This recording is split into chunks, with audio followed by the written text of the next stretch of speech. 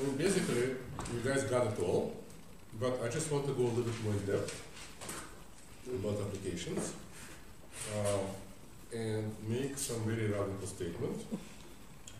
Uh, uh,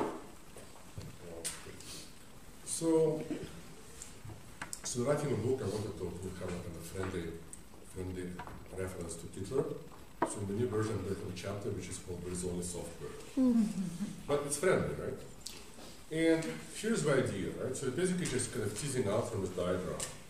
Well, so so both, I would say, so there are two things, right?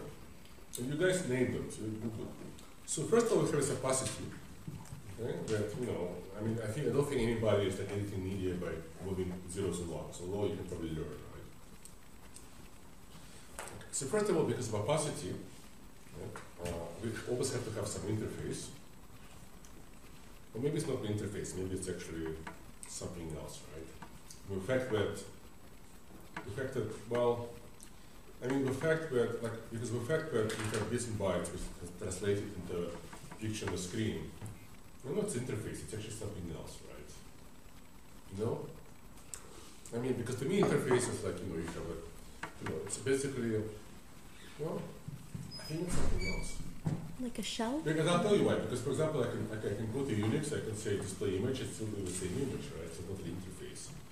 So I'm not sure how. It actually would be nice if I can figure out how to call it. Uh, oops, we have to do some. So what? Yeah. So what? How do we call this operation? Uh, intermediate languages or applications? Well, yeah, mediation, mediation. So I don't think it actually goes to interface. I think it's kind of basically just kind of go somewhere, right? I think it goes to its own thing, maybe. Yeah, sorry. It happens if, you do if you interpret it, right? Um, so, uh, right. Uh, so, well, I mean, I want to go. I want to go once. I don't want. I don't want to dwell on this. So, if you kind of have some better ideas, well, it's kind of interesting. The better ideas have some leftovers, theoretical, theoretical ruins. Right? So, um, yeah, I mean, we can actually have all kind of fun filters here, right? I mean, we can use it, right? Conditions well, whole Photoshop here. I can make a book like that. Okay, so. Um, so this is just a start. So maybe we, I don't know, is it continuous to do it? Or? Well, I don't know what to call it. Uh, transformation, maybe, modulation. I don't know. Wait, what exactly? No, we're talking about the fact that, like, you know, if you actually look at the actual file, it's like zeros and ones, so maybe it's just numbers, right? So in order to actually see it, it has to be translated into some sensible form. Uh, well, translation. Okay. Fine. Good. Okay. And then they have a second thing, right, where uh, we can say that operations is not a new thing, right? So the book offers you certain operations. We don't have buttons in the book, right? I mean, now we have buttons on the on the Kindle, right? But you know, and then radio had a couple of buttons, right? At some point, people started making buttons and dials, maybe I don't know, interesting. Um, in fact, uh, finished earlier, like I'm actually going to show you the designer, he kind of, I think, invented interface as a cultural as a cultural presence in around 55 or so. Uh, but uh, so I think one of the differences, right, between let's say the buttons which were part of uh, the devices of mass media era and the buttons we have here is we just have so much, right? There's so many different operations we can do, right? There's literally hundreds of different operations we can do in Photoshop, right? Then if you're thinking about every single, right, every single operation has all these parameters, and it's like that, it just, it, just, it just, uh, right, it just basically, it's like, you know, right, okay, uh, sorry, you know what I mean.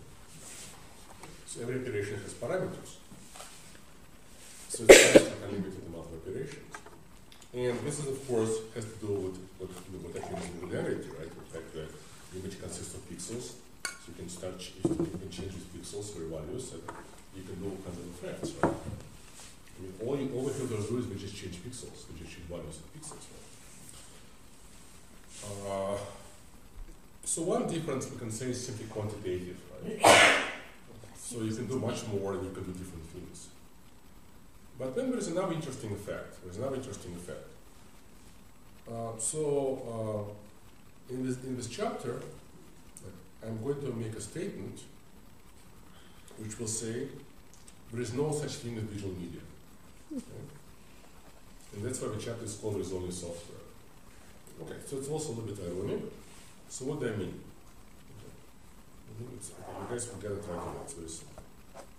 Okay, so now again, you can say that, well, you know, if, I actually, if, if I'm actually a programmer, right, if I'm actually a programmer, I can write an application, which is what I'm doing in ImageJ, right? I can create an application which will create a canvas, and then I can individually assign RGB values to pixels.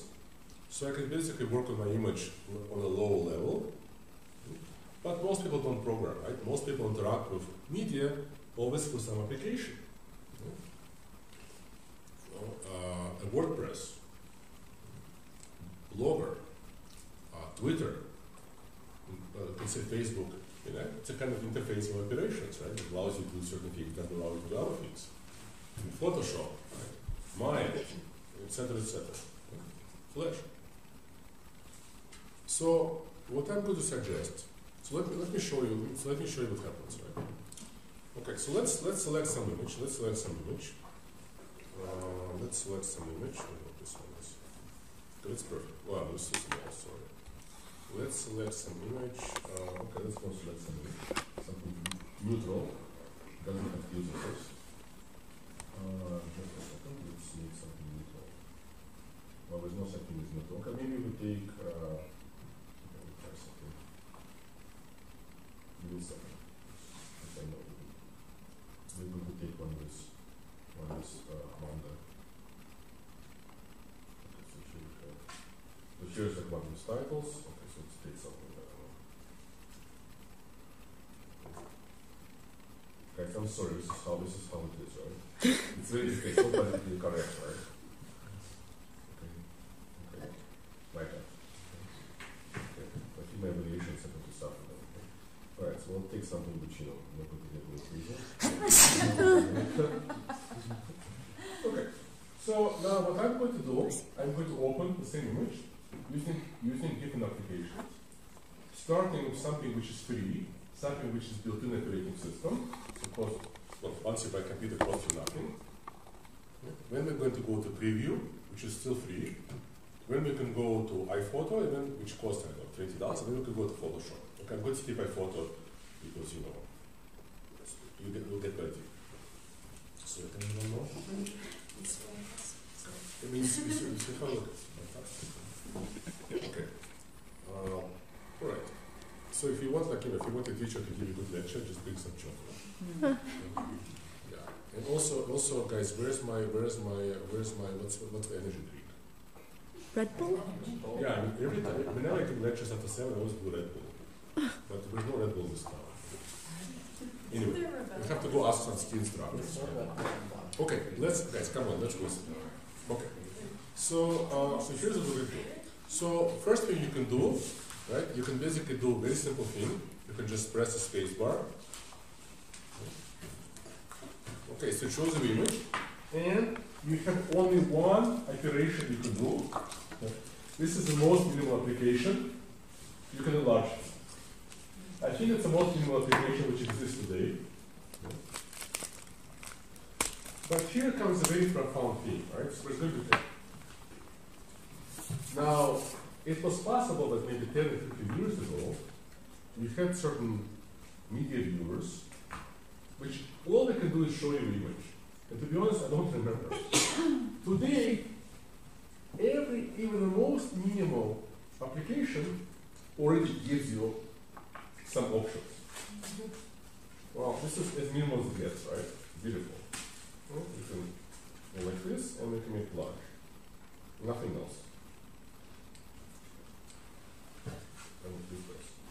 I will do this. I discovered what we can also add this to iPhone. Okay, so okay, so it already makes it shareable. Okay. Wow. Right. Actually, don't need because. Okay. Okay, so now, okay, so this is our, this is, we can say this is our application degree zero. Yeah? We can't modify the image, but we can enlarge it and we can put it into the cloud. Okay, wow. Okay, now let's go to the next level. It's going to be application which is 3. and you know the Windows machine has a media player, so it's simple. We're going to open this in preview. Right?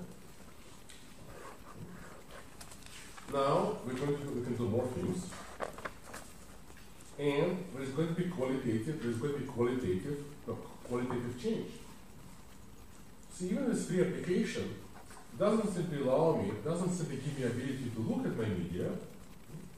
It also gives me some ability to change it, edit this. Right? Because I can go like this, and here's my cut, copy and paste, right? I mean, it's crazy. Oh, actually, no, nothing happened. Hmm. Actually, not sure it works, but maybe it doesn't work. But for example, if it doesn't work, for example, you can you can scale, right? So now, now of course, what happened is if you go look at applications ten years ago, media, your media, your media viewers didn't give you anything, right? And then over time, we, you know, we were given more and more functionality. So here we discover, I think, what to me is one of the most uh, fundamental also differences, that uh, the interface through book, the interface through book, and the interface, oh, interesting, kind of interesting. You bet bastard. what were you going to innocent and powerless little girl? Oh my god. Okay. Sharpware up. Okay. Help me. Uh, okay, so she okay. Now this is this is text by text, right? So it's not it's not necessarily you know it's going to be as good as what there, right? Because there's somebody good translated this. Okay, so now the book, the interface, uh, you know, once the book was published, the interface allowed you to read the book.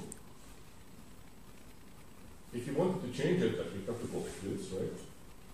Now your radio, your television allowed you to change volume, change channels, didn't give you any ability to edit edit TV. Now you can say with VCR, right? There's a kind of break already. And so that's why I think we can say that, that applications of, the, of air electronic signal, right, the, the devices vary in between, right?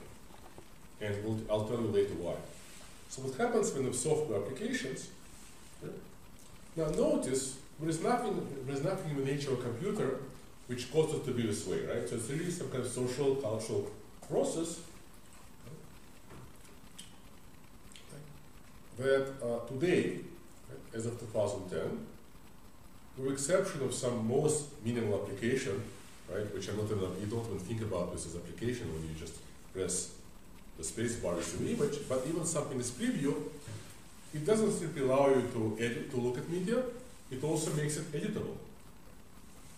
Well, it's kind of uh, important. It's kind of important, right? Okay, so that's number one. I'm not sure we can, we can write it here. Is that's really more like, like a theory. Uh, but that's number one, right? So what I'm going to do is a way to maybe, is a way to kind of emphasize how important it is.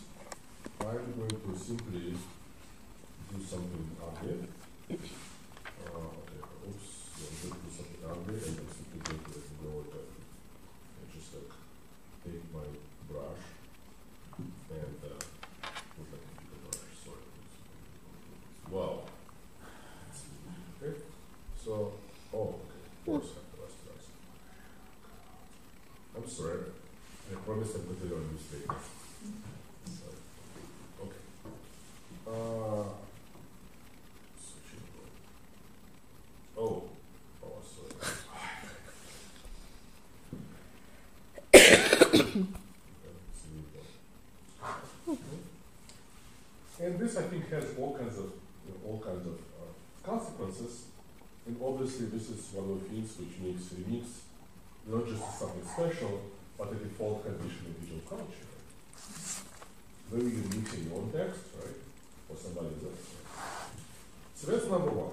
But this is this still, this is we still didn't get to the most interesting part.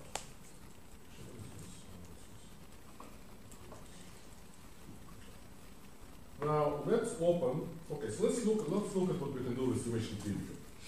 Well, looks like we can cut, do copy and paste. Right? Uh, we can adjust color. We can adjust size. We can rotate. We can mark up. I can annotate. So we can do some very very minimal, right? very very minimal operations, which is probably all like you know you know which is probably all like the first graphics programs we're doing in the early 80s. Incidentally, the first paint program was developed around 68, 69. And of course, the first interactive graphic application was Sketchpad by Alex Rowland from 61, 62. 61, let's say 60. So that's 50 years ago.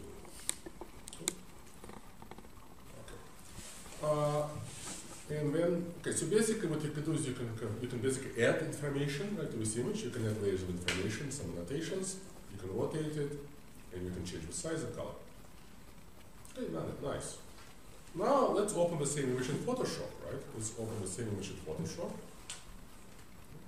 And as we already discussed, Photoshop now is going to be a big jump, right? So Photoshop is going to offer you now, right? Literally, I mean, hundred, well, literally, I would say dozens of commands. Oh my God! Oh, I just, I just closed my diagrams. So, so, so, don't- worry. Okay. Oh, Oh, see, lost right. We still have, uh, still have lots of space, right? This is ugly. Uh.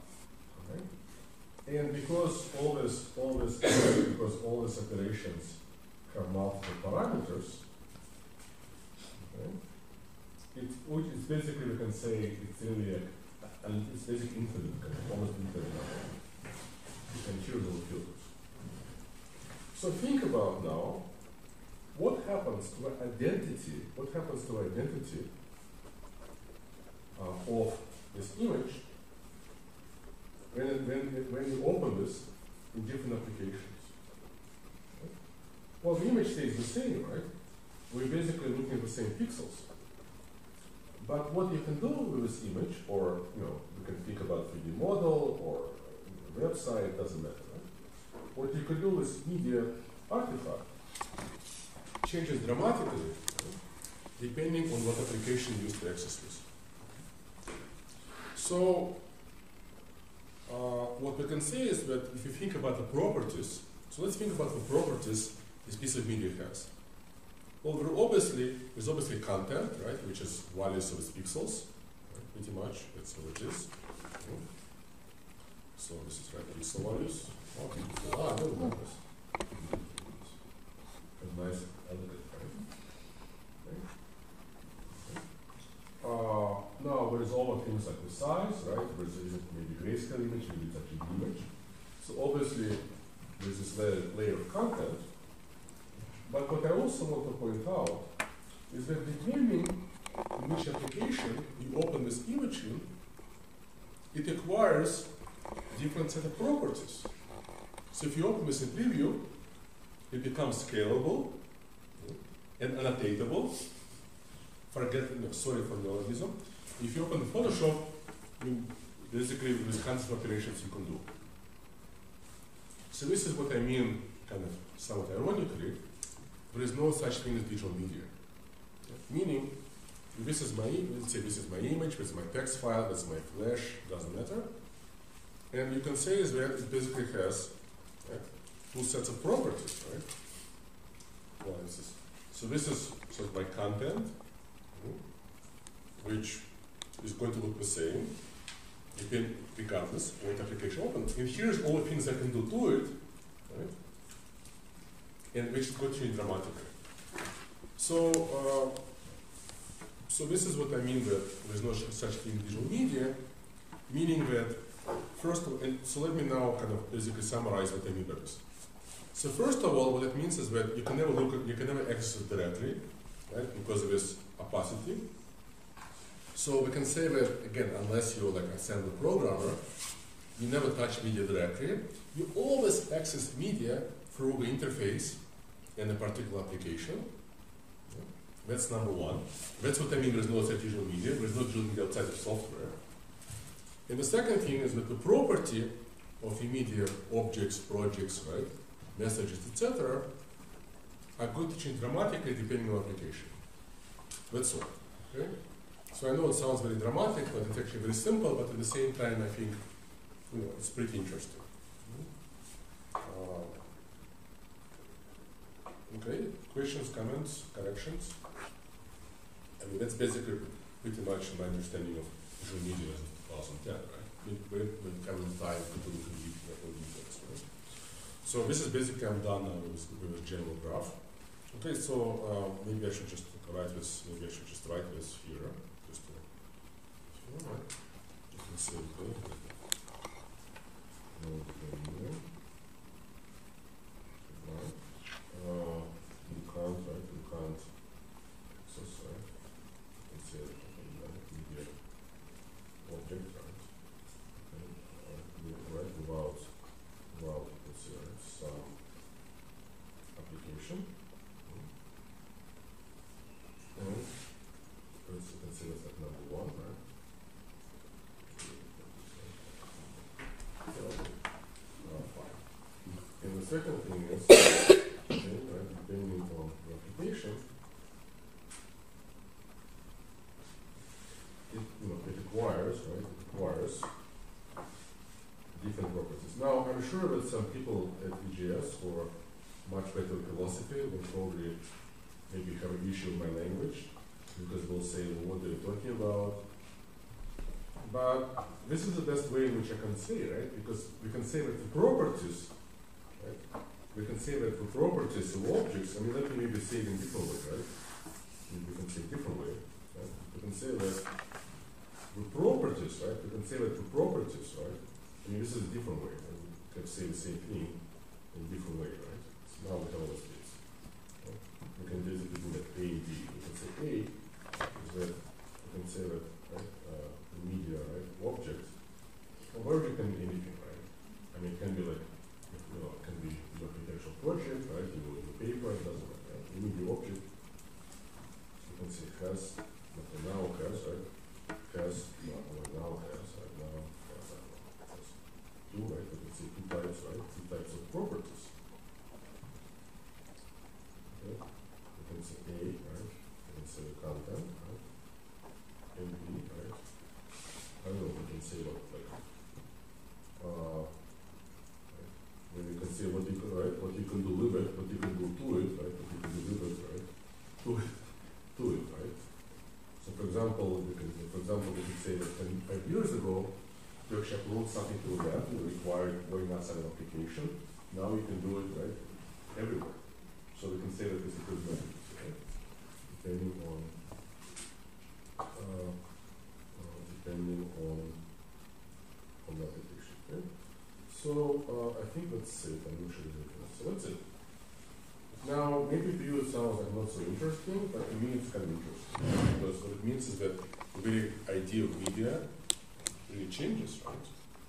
Because if you go to a dictionary, right, and you say, what is artistic media? Well, people would say, basically what the dictionary would say is that it's a combination of artistic methods and techniques, plus a particular material. Well, I would actually say the definition was already incorrect, because when we're talking about etching, painting, uh, yeah, sculpture, I mean, I would say you have three things. You have artistic techniques and methods, right? Which can be something which is very low level.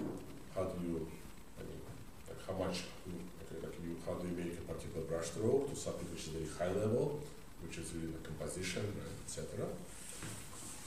Or perspective.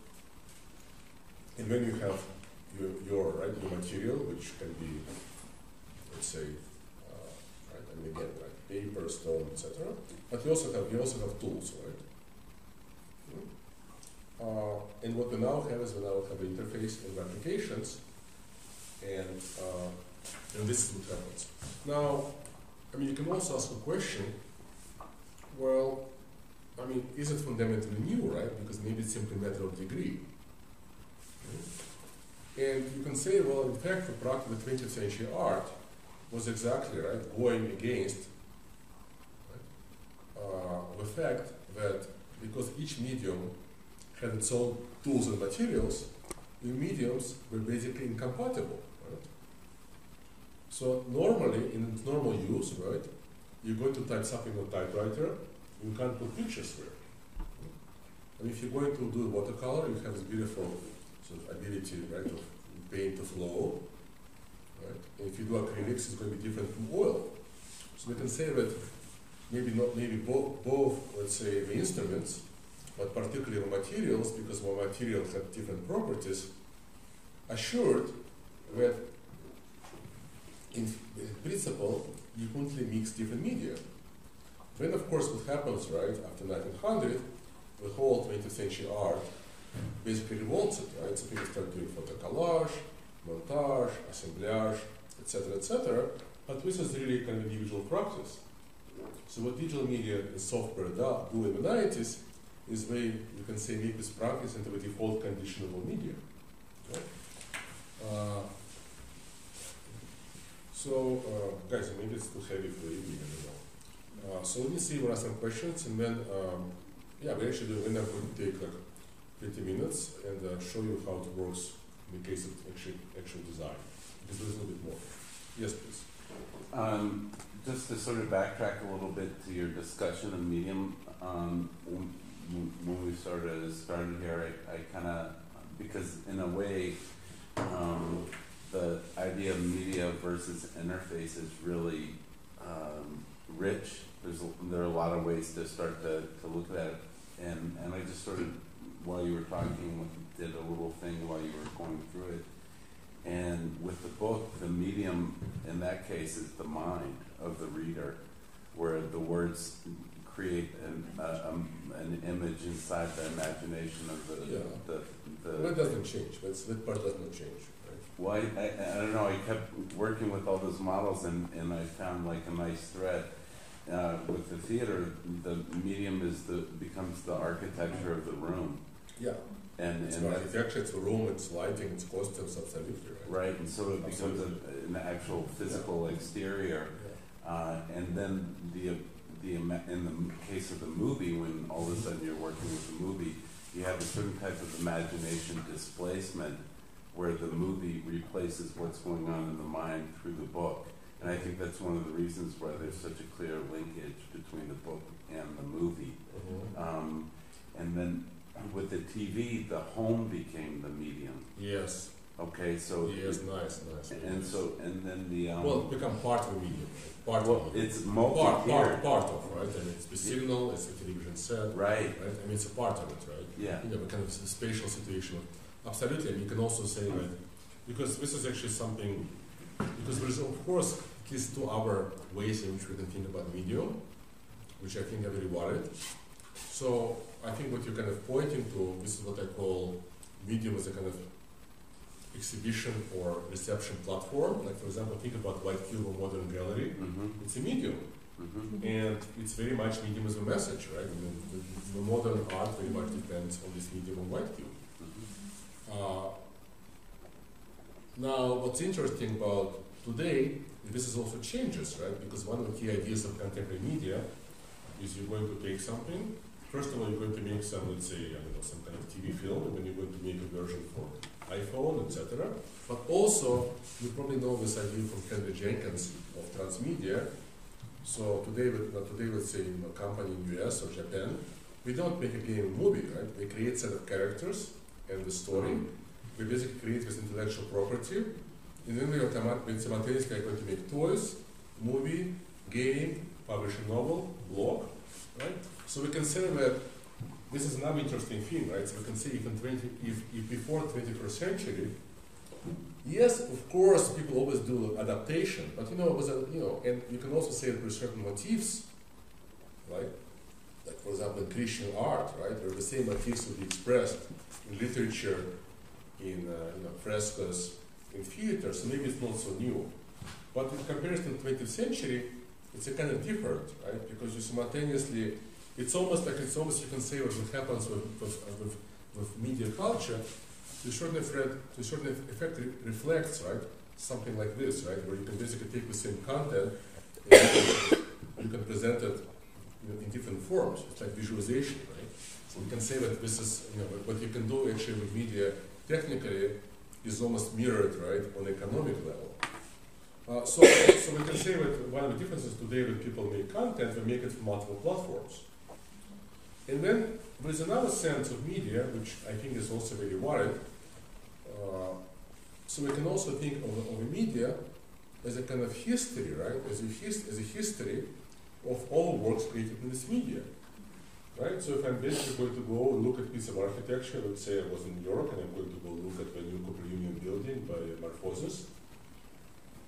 I'm going to immediately compare it to all the buildings I've seen in my life. And you have a different database, which is probably better, so you're going to compare it to yours, right? So I think that we can say that museums, books provide like a shared database, and of course YouTube now provides a different database, but in some ways every one of us has a different database in our head, right? So I think, so that's another sense of a medium, right? Medium is a kind of history of everything, everything which was done in this medium. And there is also a third sense of medium. Well, you know, because different media speak to different senses, right?